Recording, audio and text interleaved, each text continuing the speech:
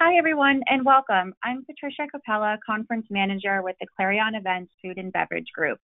Thank you so much for joining us today for our exciting and informative webinar that is backed by popular demand with Marriott International's Director of Global Food Safety, Doug Davis, and MenuTrinfo's founder and CEO, Betsy Craig. Together, they will be discussing Delivering Confidence, the blueprint for forward in food safety. Before they begin, I would like to share some housekeeping items to keep in mind. All audience members are in listen only mode, which means you are muted. We will be monitoring audience engagement on the dashboard and do encourage you to participate by using the question pane. Please also find the five handouts for you to download and use on the sidebar. Doug will kick us off and speak for 15 minutes and then take 15 minutes for questions and answers, following Betsy presenting for 15 minutes and then taking additional questions for the last 15 minutes. If they do not get to all of the questions, please keep in mind that speakers will follow up personally with you after the webinar with an answer. Please note that this webinar, as well as others in our series, will also be made available on our website, foodandbevshows.com, in the coming week. Now, without further delay, let me turn the webinar over to Doug. Doug? Thank you. Thank you, Patricia, very much. It's, uh, thank you for having me. It's a real pleasure to be here today. Thank you, Betsy, and everyone on the call today. I'll get right to it with the next slide. Um, but yes, I'm with Marriott International and we have 30 plus brands and 7,000 hotels and so forth. But we'd like to give right now a shout out to the caregivers, the heroes on the front line fighting the invisible enemy. We have a caregivers room for responders um, program, which we're giving free rooms to doctors and nurses that are uh, affiliated with different uh, organizations. Additionally, we have a caregiver rate that if you go on Bonvoy or you go on Marriott.com and put in QWO through June the 30th, you'll get a significant uh, discount on rooms, the ones that are open um, around the country. That's a picture of one of our hotels, and would like to start out by saying that Marriott has over 10,000 hotels in our portfolio, and we have 127 restaurants that have generated over $5 million each annually. And um, we have 29 Michelin stars within our portfolio. And also, we have one of the largest uh, fast casual chains in the country, Courtyard Bistro. But I'm just wondering, as every one of you on the call is is that going to last? Is that going to stand? Are we still going to have that? Um, nobody knows the answers uh, to those questions, uh, but we certainly are trying to do the best we can to make that happen again. I would just say that uh, in some respects, we're never going back to where we were. Therefore, we need to continue to move the ball forward and to do those things that we've always dreamed about doing. And um, uh, uh, doing everything we can to welcome our diners and guests back to uh, our facilities, our restaurants. Next slide. So, yeah, a lot of you on the call are, it's not your first rodeo. Um, and you've already been doing things like uh, you know uh, tracing and tracking and doing things like with foodborne illness outbreaks mitigation and management and figuring out food commonality and reporting it to regulatory and doing all addressing all those trends within your restaurants in terms of food safety practices. And uh, you know, uh, encapsulating all that best practices into your training and all that. So this is no different than any of that. I, I will just say that uh, I just thought of something that happened a couple of years ago. I was giving a norovirus update to some of our very senior leaders, and I was stopped midway through, and I was told that my presentation was a little too graphic. So I'm wondering now if I were to give that same presentation, would I hold their interest now? And I guess the answer would be unequivocally yes. I would hold their their their interest. And so it's the same opportunity for everyone now to really get these things done that we've been been thinking about and trying to do. And a lot of them are common sense. Um, and you don't need me to tell you those particular things that you're seeing and you're doing already in your restaurants and so forth. But I see there's 10 things that I don't think are going to go away. And I've tried to list those here. You can read them for yourselves, but you know, when you go into restaurants and you go into the back of the house food preparation areas and you see sinks that are dry and so forth, I don't think you're going to see that anymore. I think that everyone is willing and able, they understand the urgency and the compelling nature of doing the number one thing that will prevent the viral transmission and that is washing your hands frequently or hand sanitizer. So I think you're going to see that. And of course, social distancing is not something that I want to say anymore.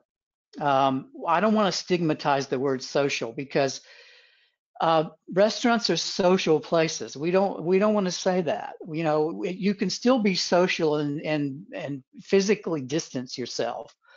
I saw a funny uh, sign where uh, a restaurant, I think it was in New Orleans, had an alligator between two people. That was a six foot alligator.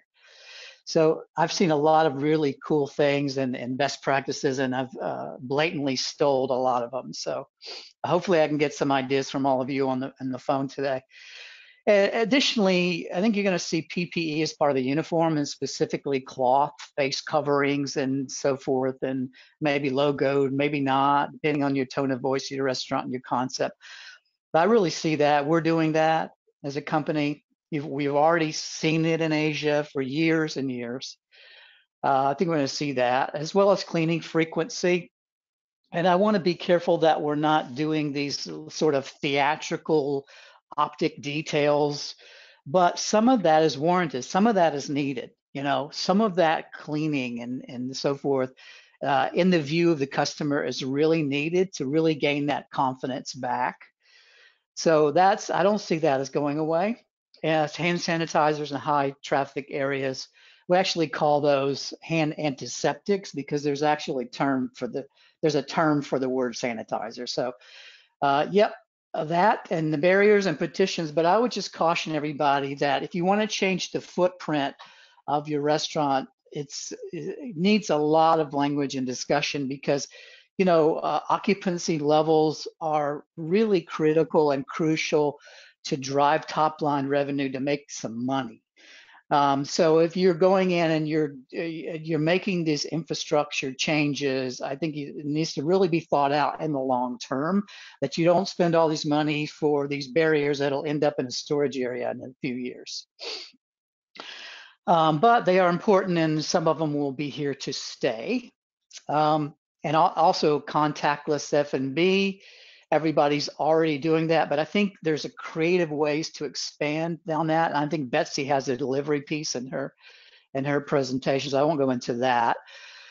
Um, I think it's important that if you're developing all these protocols and you want your restaurants to perform a certain way and you're changing the paradigms and you want behavior changes, that you need a go-to person or persons that can really be the face of your program, that can speak intelligently to customers and can uh, validate and verify what you're trying to do within your restaurant. So um, we've implemented what we call cleanliness champion within um, our restaurants to to be that face to drive uh, some of the training, et cetera. And then uh, what's what else do we have? Flexible leave and screen for illness symptoms. So uh, just because you know the image of this person's temperature being taken, uh, I'm not sure that's the best idea because there's a lot of uh, ancillary issues around HIPAA and collecting information and uh, privacy and unions and all that stuff. But anyway, but you can ask questions. Uh, you certainly within your right to do that, and um, you want to make sure that people feel confident that they they need they they can stay home. Uh, paid time off is obviously the best thing, but in this environment that might be, not be a, a viable option.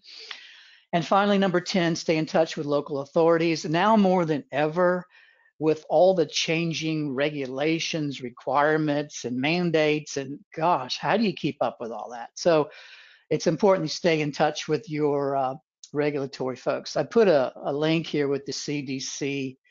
Uh, there's a new guidance, uh, reopening guidelines. There's the link for that. And uh, it doesn't hurt to look at all this information, not only from this country, but from other countries that are already uh, weeks or perhaps uh, a, a, couple of months ahead of us in this process. And we look to Asia uh, specifically for that. So next uh, slide.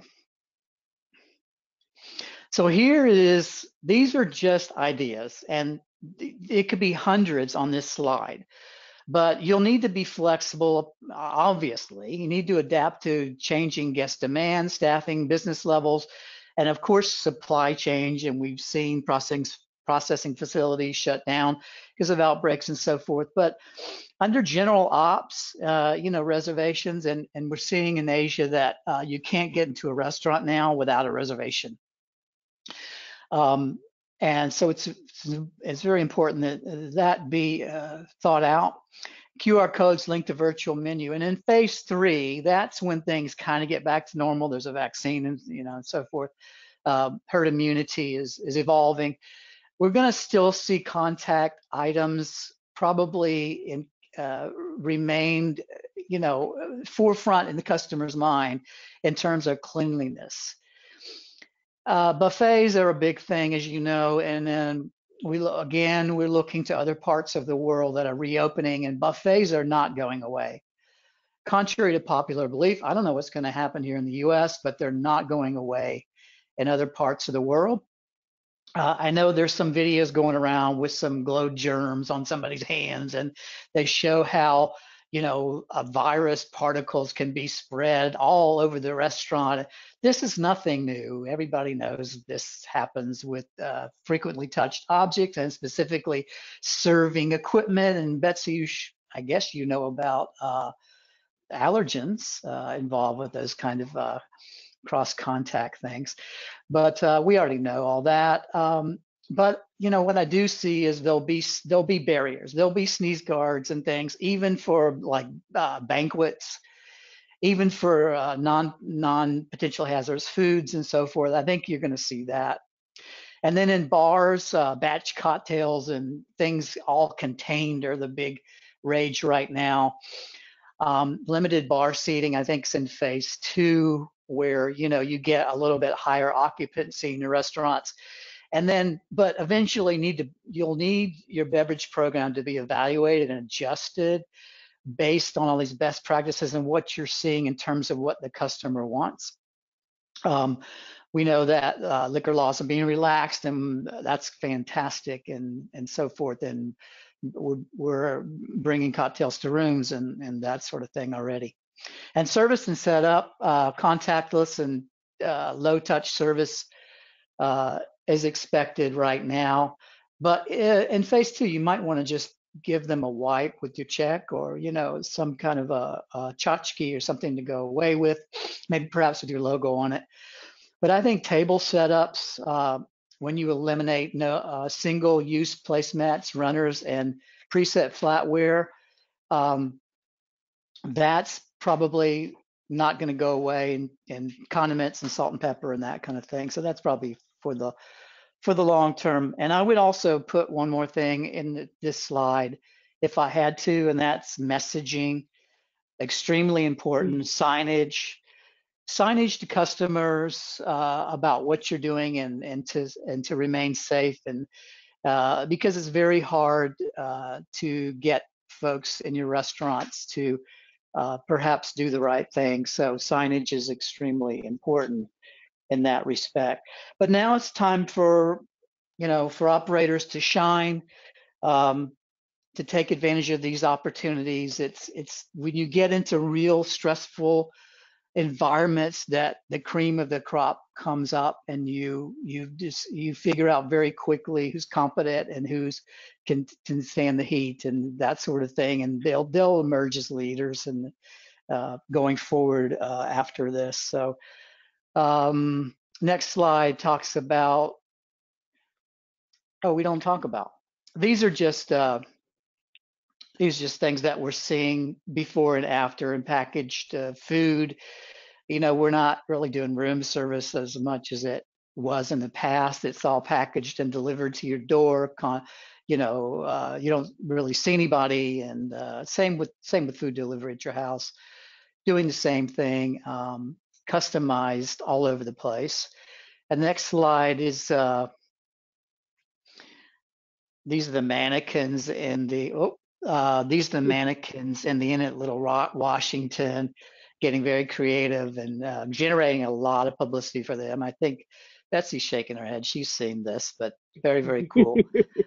uh, I thought I was showing you something here, Betsy, but um, the next slide is uh, uh, something. I think this is for, I think this is Korea I'm not sure, but you're going to see more and more of this. And of course, servers with gloves and masks are the norm for a while. Uh, next slide is, uh, uh, yeah, this is, I think, uh, on the left is Singapore, and on the right, see this again, this is optics. These little cardboard things, they're not doing anything.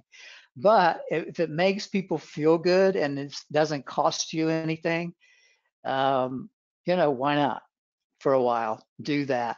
um, it's a piece of, you know, it's cardboard. It's uh, cut out.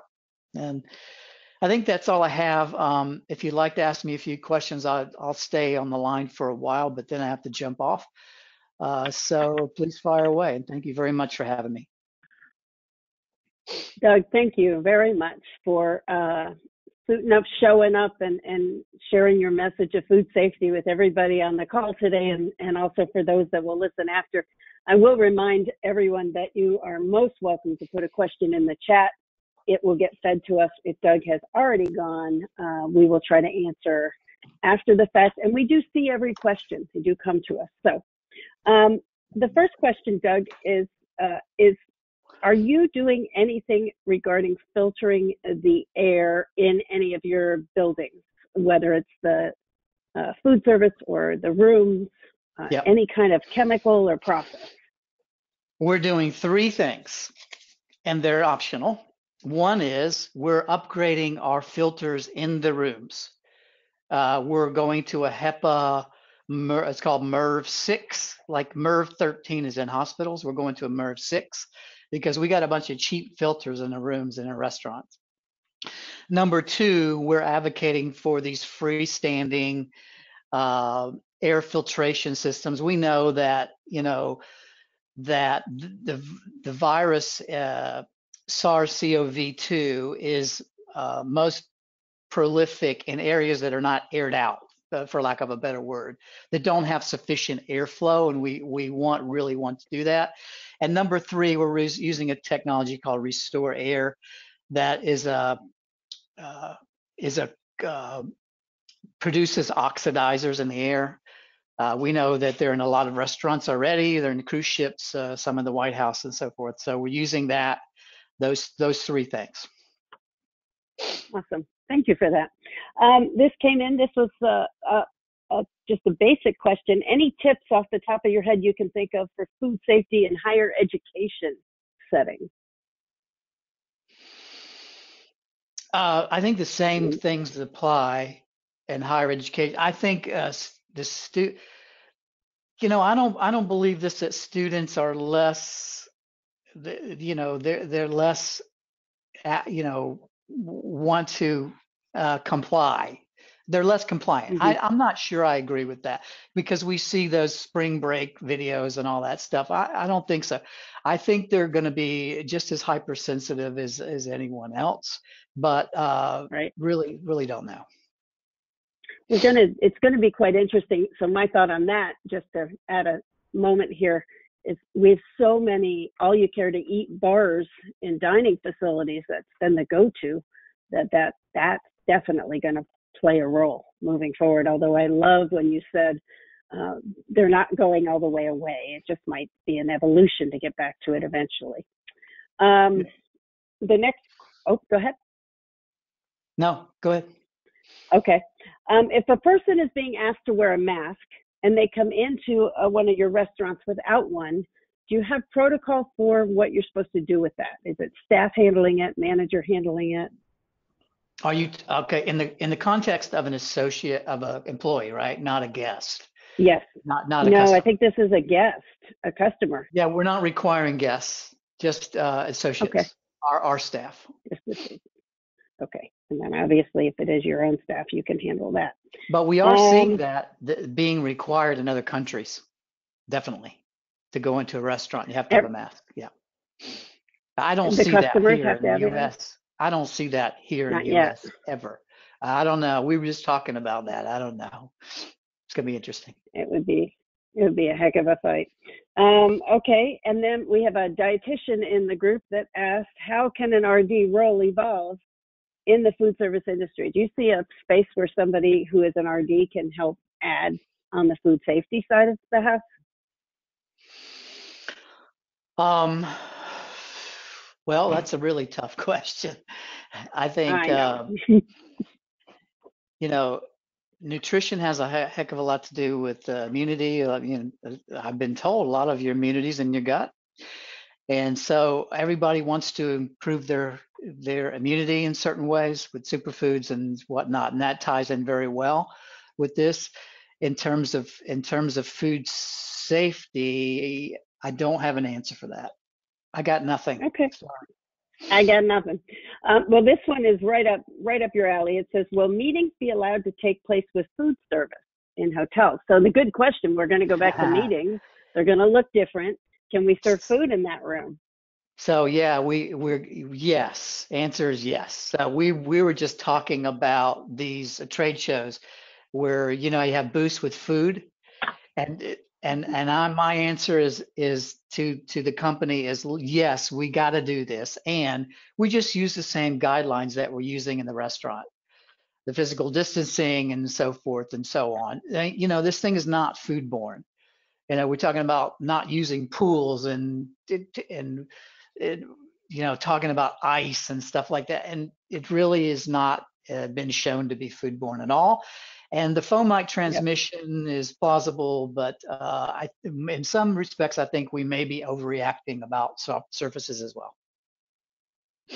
Yeah, that's the FDA on their webinar. The very first thing uh, the head of the FDA came out and said was, in no uncertain terms, this is not foodborne. This is not Yeah. foodborne. Um, okay, and let me just give you one more because I do I respect that you have to go and totally understand. Um, we have quite a few questions we are not going to get a- to I with don't have to go until 1:30, but that'll only give you 30 minutes. Okay. Okay, that's all good. Um, they're here for you. Anyway. Okay, so question about do you have a good sample standard operating procedure for food service mask usage? So what uh, Yeah, what are your so- personal thoughts or SOP?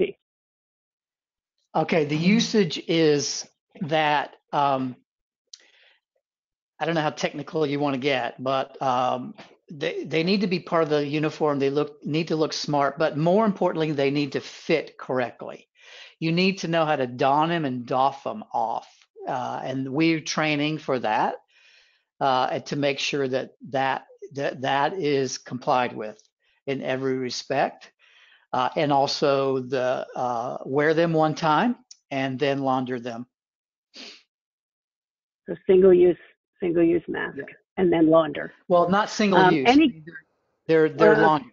Yeah, but but used use one. once. Right. Yeah, used one. Use, Used one. once, so laundered. SOP So you need a couple once, of them. You'll need a few of them. Yeah. Yeah. yeah. Launder and hot. I'm Yeah. going to get into a little bit on launder and my stuff. Somebody asked about weddings. What are what are you guys looking at doing for weddings? What's the future So- of weddings look like? I just was on a call with Asia this morning, and weddings are the last thing they're coming back, is what they are telling me. Uh, they haven't. They want. They want to book weddings, but it's not them. It's that the wedding party uh, doesn't want the wedding in those types of conditions, parameters. Right. You still want to be able to dance. Somebody is saying it's required to wear masks in Massachusetts, just FYI. Um, thanks for that piece of information. Um, have your employees taken issues with that? No, we talked on that. Any guidance for how much space, square feet, for employees' workspace and kitchens? Whoa, great question. What are we doing in kitchens? Um, so we want to say three meters uh, between people, but that's not always possible. So we're gonna we're gonna wing it and do the best we can. How does that sound? We got a general I like guideline. that SOP. Okay. Yeah, And the three general meters, guideline, three- three yeah. meters. Is that six Yeah. feet? Help me, sorry. Okay, just Two making sure. Um, and then the final, there's the one more question. They're just firing questions at you, Doug, I'm telling you. Um, Is there guest capacity at your hotels or in your restaurants? So are you guys going to alter how many are allowed in based on, Yeah, so we have to do that based on local ordinances. Anyway, so we have to follow that first. And then, because we're generally relying on that first. Um, but it's usually, it- like in Australia, they're not allowing more than six people to sit together, even if they're in the same family. So only parties of six. Um, so we're, we're, we're, we haven't defined that because there's so many other guidance, guidance on it. okay, there's other things taking precedent. Yeah. And that is my last question I had queued up for you. That's, uh, Well, great. that's pretty And I'll good there. give- You I'll did give my in rapid succession. Yeah. I'll give my email if there's any more questions. And it's global food safety, all one word, at marriott.com, two R's, two T's. And uh, I'll try the best to answer your questions. Thank you. All right, Doug, thank you for All your right, well, Have a time. good webinar. Take care. Stay safe, stay safe, stay well. Um, and Patricia, if we could go to next. So this is a little outside of our norm, but we absolutely wanted to grab Doug and, and get his expertise and uh, be super respectful of his time. Um, and super appreciate that. There is a, uh, there's just a wealth of knowledge for someone. Forgive me for a second. I'm going to stand up. There's a wealth of knowledge that Doug brings um, that I'm always grateful that he's here because the knowledge he brings is his experience globally. Um, so let's go from looking globally uh, to bring it uh, here back to the United States and what what are we looking at here in the U.S. So the first question is, oh, I didn't introduce myself. I'm Betsy Craig, CEO and co-founder of MenuTrinfo. Uh, we do food safety, food allergies, nutrition, everything along those lines. So glad to be with you myself. Um, as we consider reopening, and is it time to reopen yet? That's the question. Well, reopening first has to be consistent with the state and local orders. In other words, just because you want to reopen obviously doesn't mean you can. Um, and there's a couple of things that came out with the CDC guidance that Doug was referring to um, that really struck me as odd. Um, but once I processed them, made a lot of sense. And that's the second bullet you're seeing on your screen. And that is, are you able to protect your employees, um, especially the employees that are higher risk for serious illness? So one of the the group of humans that we're worried about protecting have to do with age, obviously, 65 years old or older, people with chronic diseases, and the CDC has actually started calling out people with a, a body mass index of 40 or above, so obese, um, obese folks, whether that be your employees or even your customers. So when it comes to those that are compromised or vulnerable, we're looking at folks with lung, heart, kidney, liver diseases or conditions, diabetes, asthma.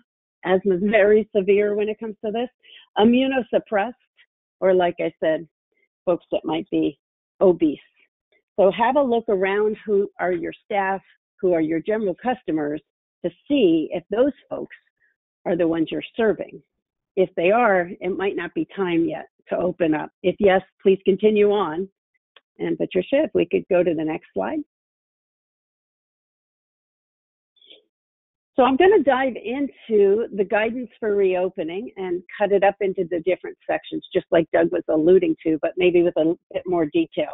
Um, first, we have to pay attention to transparency for when it comes to employee health. We need to make sure our employees are healthy and able to come to work and be at work and stay at work.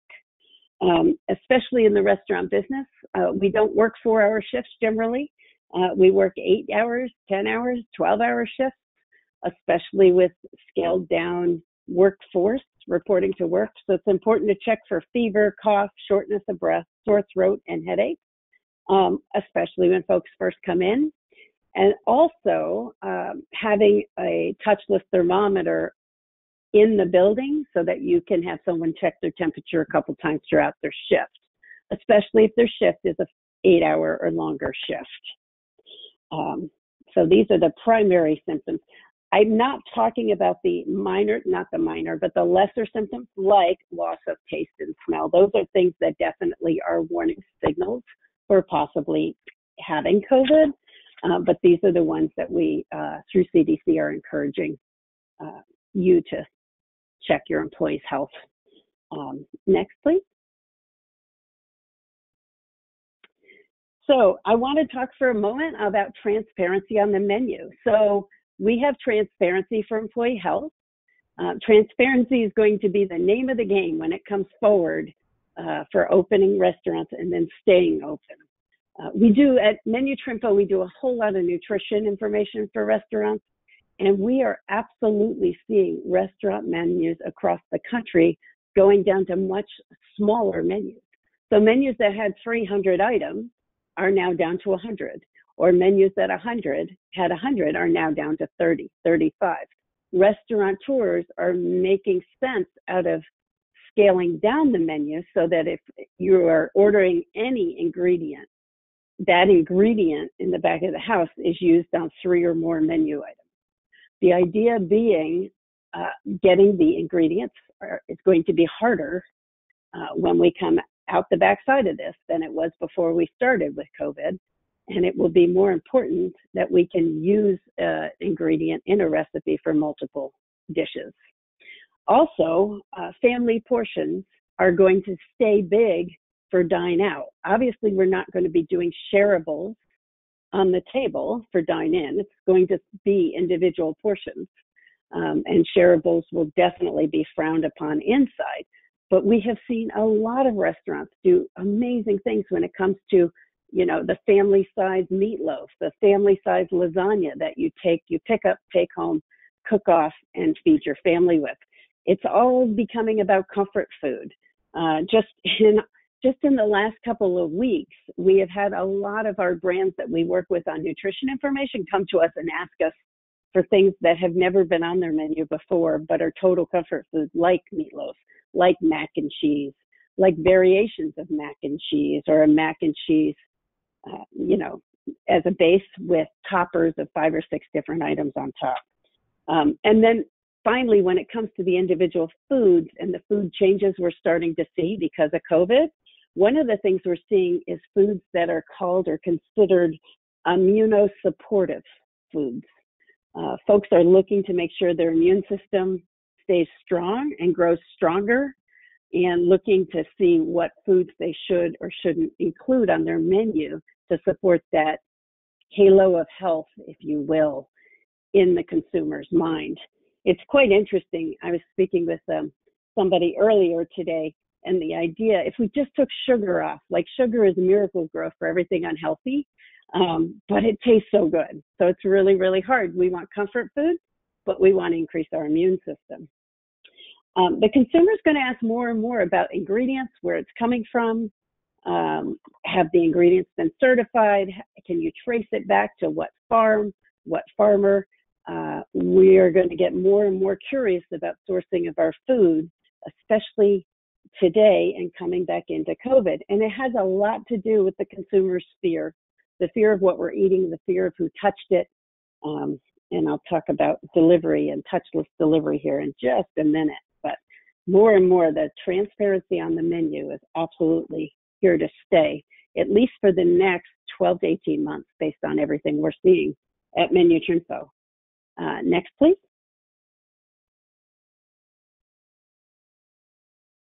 So clean and disinfect, clean and disinfect. I have heard the terms clean and disinfect almost as much as I've heard COVID and social distancing. And I need to make sure that you understand a few things. Get it to your core that cleaning and disinfecting are not the same steps. It's actually a three step process. The steps are clean, rinse, and sanitize.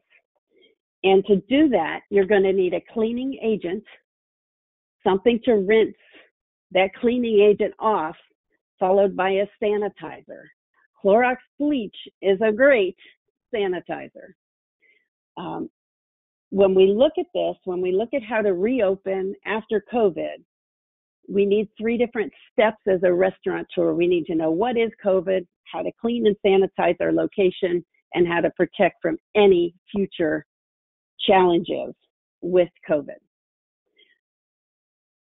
One of the things that's included, and I, I, I want to call your attention to the handouts. So over in the GoToWebinar control panel that has been put here um, by these awesome folks at Clarion who are uh, hosting and honoring this webinar today, there's something called handouts. If you click the handouts, you're going to see five different optional download PDFs.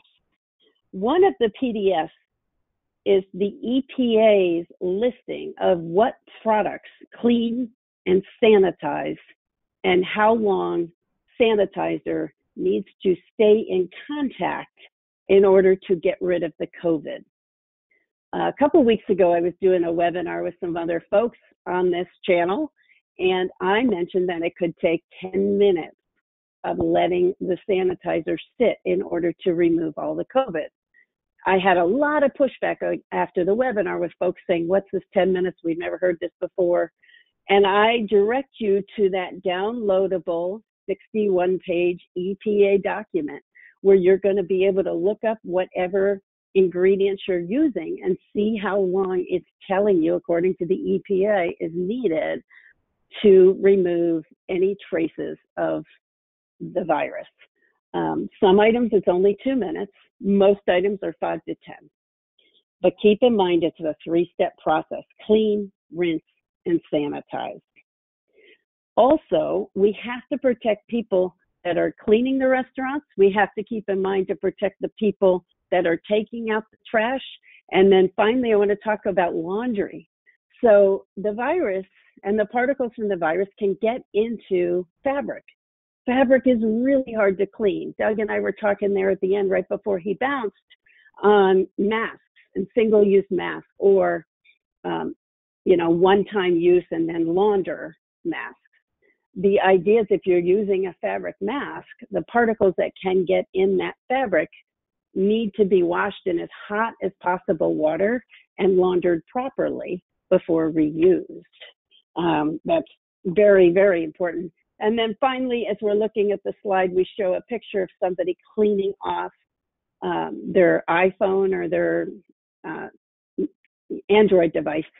And that also goes for tablets in your restaurants um, and screens for your POS, for your servers, having the ability to clean those screens and sanitize them keeps your staff as well as anyone that might come in contact with those screens safe. If we could go on to the next.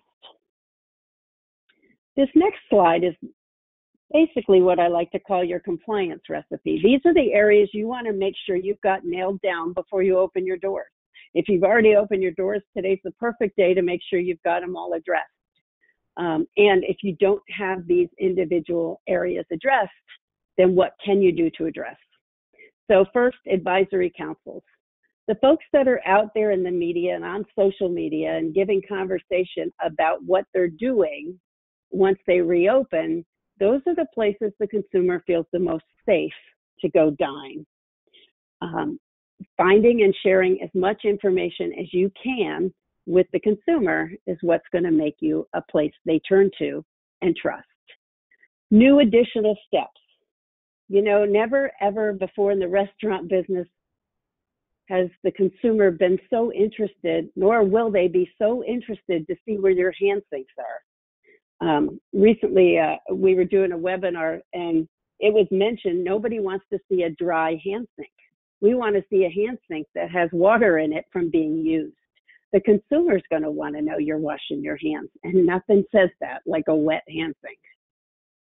Pre screening. So, folks are going to want to know that in your restaurant, your staff has been pre screened to make sure they're healthy that day, the day they showed up for work. What is the level of disinfecting you're doing? What are you doing to self monitor? They want to make sure that folks have masks on if that's what's expected in your area um, I agree with Doug when he said the term social distance is really hurting us. However, distancing is going to be more important than ever. I didn't get the picture up in time for today's webinar, but I saw down at the beach in Maryland, um, there's a bar that's using inner tubes to, to do six feet around. They've got people standing in the center of these inner tubes, and that's how they're able to hang out together on the bar. And then, what is your policy and what are you doing for your staff if they need time off because they're ill?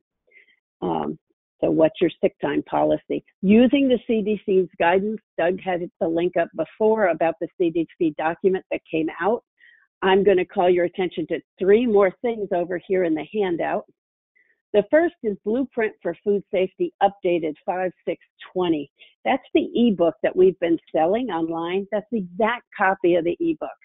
So I ask you to respect me. I'm giving it all to everybody that's on this webinar right now for free rather than charging you $29.97. I respect um, your attendance here today, and I wanted to give you my very best and my company's very best. Um, I would ask that you not give it away to 100 friends, send them over to my website. That would be great. But I want you to have it. I want you to have all the different things that need to be disinfected. I want you to have what I believe is the number one protocol for the bathroom is it every hour somebody goes in and cleans off all the high touch and how you do the end of shift cleaning and there's charts in there and there's there's a lot of tools. Um, it is it is the time to share tools with each other so i want to share that with you. Also there's two documents in there that start with the capital letters for covid the ovid one is english one is spanish and those both come from the they're the summary of best practices, and they come from the FDA. And they're it's a, they're both great charts. You can see pieces of it right here at the bottom. The social distance is on there, but it's um, facts and ideas on how to implement some of these compliance issues once you reopen. Um, we can go on to the next slide, please. So enjoy enjoy those handouts it's there are interesting ways to do six feet apart. Doug talked about the alligators. In the top right, you see something that happened. I believe that was the Netherlands. They use greenhouses to separate people's space. Um, again, we're worried about particles. We're worried about um, particles coming from sneezing, touching our face, coughing, going up in the air, becoming airborne, and making one another sick. The food's not making you sick, it's the particles. So this greenhouse idea is quite interesting. Um, I'm not sure, you know, if it'll catch on in the U.S., but this is this is one idea from across and another nation. Um, you can see if you're ready to eat, we're ready to cook. So this is off of somebody's Facebook post, distancing the table six feet apart. And are people really going to do six feet apart? They sure are. If you want to go ahead and have people sitting on your tables. And then as I get ready to wind down, I've got one more slide and then I'll take some of the questions. I'm seeing the questions pop up. So thank you for that. Um, thank you. That's scary. You knew I was going to ask for that. Transparency and delivery. So we've heard a lot of the last two months has been about delivery. I did a, a webinar with these guys and delivery was a big focus. And then I just did a Zoom on delivery what do we do for delivery to make it successful? Well, first off, we continue on with delivery. Delivery is not going to go anywhere. One of the big challenges, and I've worked with a couple different brands specifically on this, how do they take their footprint and still have area to stage all their outbound food, all their delivery bound food, versus how do they seat people because they've been using their dining rooms to stage their deliveries and to stage their carry out. So um, some of that can be worked out, absolutely, but carryout is still going to be a huge chunk of your business. There are even brands that got carryout so deeply nailed down well that they have been able to keep their sales in a very respectable level through delivery. Delivery is going to be all about continuing on prepayment, packaging, IDs, emails. I always talk about food allergies. It's so important today it's more important today than ever before that we are able to ID and keep people safe. Um, tamper proof, you can see the sticker in the top right picture, the idea of even just a simple white sticker to close a package so that we know it's safe from your kitchen to the person's table at home. um, the location in the restaurant. I talked about where we're going to stage that food. And then, are you using third party delivery? And if you are, um, what efforts are they going to to keep the food also safe? All of those are absolutely imperative. Uh, I'm seeing more and more commercials on TV. I'm seeing more and more things on social media where people are saying, you know, our our pizza starts in the oven. The last time we touch it is when it goes in the oven. It doesn't touch from oven to your table. Um, the consumer is going to want to know that. So um, next slide.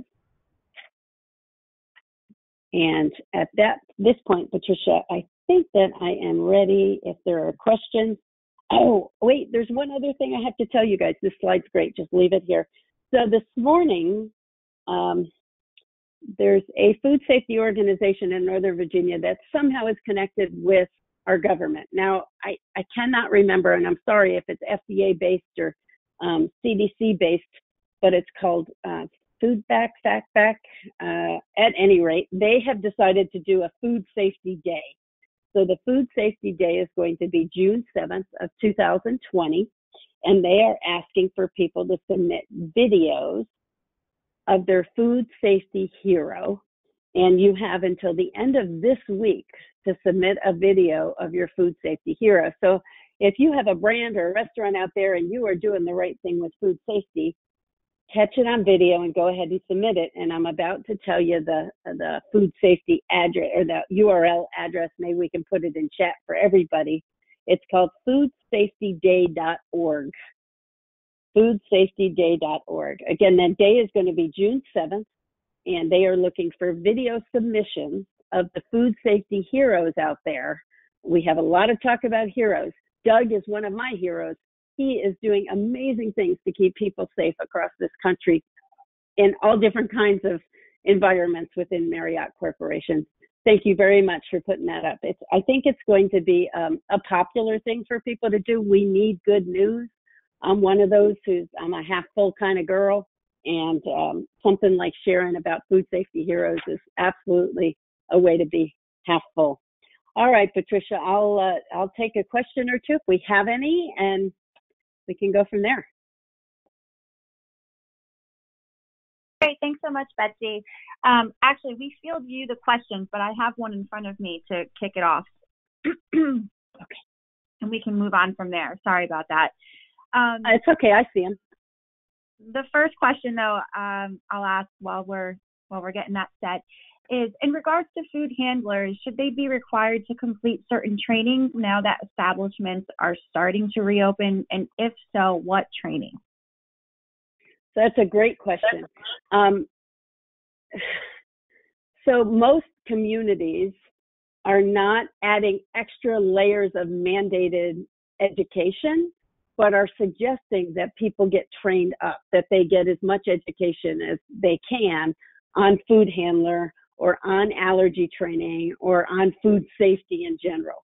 So you still need to comply with your community, your county, or your statewide mandate. Um, at least in the food handler world, we have a lot of brands that have been coming to us saying we just are going to train everybody and just let people know that every single one of our staff members have been trained in food handlers. They all know how to handle food. Um, the community and the consumer is definitely looking for certificates on the wall and third party recognition uh, for that education. So the next question on please differentiate between sanitizing and disinfecting. It's very important to let people know that sanitizer is food contact surface and the EPA list is for disinfectants to abate coronavirus. Yes, and all of that information will be found on the document that I have uh, listed there uh, in the handout. Food, so sanitizing versus disinfecting are absolutely different things. Um, and you do need to use something. First off, you have to use extreme caution not to mix chemicals. So that's one area you absolutely have to use caution. And the second is make sure that anything that needs to be wiped off, cannot touch food, doesn't touch food and that has to do. The problem with giving one blanket statement is there's so many different chemicals out there, so many different compounds out there. So make sure people are reading the labels and using it according to label packaging. Um, this are are partitions needed in dining room on tables. So I haven't seen any place that has mandated that that partitions are mandatory. Partitions are the restaurant tours and the owner's way of trying to give us another barrier, another safety barrier, if you will. I haven't seen it mandated. I've been watching closely to a lot of different places. And in fact, the ebook came about with me helping the state of Colorado do their mandates for what's going to be needed. So a lot of the stuff in there is from uh, the research I did for that.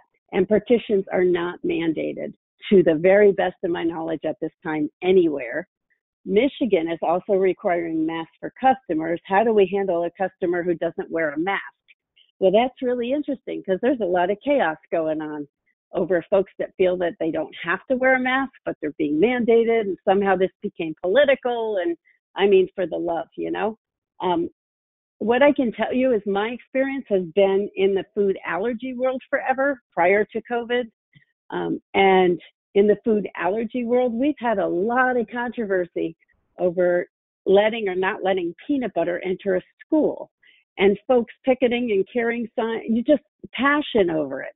Um, I think each owner, each general manager is going to need to know how they would handle it. Um, and if it is a challenge for them. I recently saw, and I want to say this morning or last night, saw a sign for a store. It was a retail store, not a restaurant, that said, We know masks are mandated. We don't want them in our store. So if you walk in with a mask, we're going to ask you to take it off or kindly go elsewhere. So it's becoming this crazy controversial issue. I just want to feed people food and keep them safe, you know? So I'm not, I don't have a straight answer for you other than to say I have compassion and empathy because it's going to be hard to figure that one out. Um, answer that, answer that. Okay, distance and seating. Is there any requirements for people being six feet apart when they are face to face? No, but you know, not that I've seen yet. First off, not that I've seen yet. Community tables are starting to go away or using a big community table, leaving the space between people. So if there's four seats or five seats on one side, they're only seating at the ends. I've also seen restaurants look at not letting people do face to face or giving their customers the option to sit side by side in a bench versus across from each other um, because of eating and you know bodily fluids coming out of our mouths and air particles when we're eating. Um, can you comment on a time on time and temperature of heating and reheating pertaining to virus? Is there evidence if it gets killed by heat? So I haven't heard of any evidence to say viruses get killed if you cook it to 400 degrees. I haven't heard of any of that. And I would say the time and temperature for food, we need to do the best food safety protocol. Again, the virus living on food, uh, although that would be a soft, curious. I haven't heard any biology on this. So I would say I don't have a good answer for you on that, but I will find out who asked that question because I'll find out after our webinar today and be able to direct you. I actually have two sources I will direct you to um, that you might be able to find the biology answer. Again, the FDA, when they did their webinar not long ago and it's out there for public consumption, it was recorded everybody came out and said this virus is not living in food. This virus lives from people. Um, and that's why the masks, when we're cooking on the line and touching people's food and preparing people's food, hand washing, gloves, masks, you know, all those PPE for folks is more important than ever. And I think that might be it for my question, except yep. to um, say Back to you, Patricia. Thank you for your time, folks. Please help yourselves to the tools I've provided for you. Thank you for listening to me. Thank you for letting me introduce you to my buddy Doug, and I'll pass it back to you. Thanks so much, Betsy. And, and again, thank you so much to, to Doug and also to you for giving us all of these additional tools and knowledge on, you know, moving forward safely. Um, I also want to remind everyone that you will receive a copy of this recording so you can listen to this uh, webinar and refer back to it as you wish. Uh, that will be sent out in, in a day or two via email. Um, and thank you so much for being with us today. I did want to share for those who have may not have seen the press release this morning that um, Clarion Events Food and Beverage Group did announce today that our four upcoming restaurant, food service, and specialty coffee events in our portfolio will be canceled due to the impact of COVID 19 that it's had in the industry, as well as the California, Florida, and Illinois state government issued state of emergency orders. You know, we, we fully understand that the health, safety, and well being of our team, our customers, partners, family, and friends is above all other priorities. So, with that said, we hope you continue to join our webinars. Uh, we hope to have Betsy back again with us very soon um, as we strive to give you the education and resources to help you navigate through these challenging and difficult times. Um, you could visit the foodandbevshows.com. You'll see a list of our past and future information on webinars and keep your eyes out for an announcement soon with our summer series. So again, Betsy, thank you so much. I hope everyone has a wonderful thank and safe you. Memorial Day weekend. And until next time.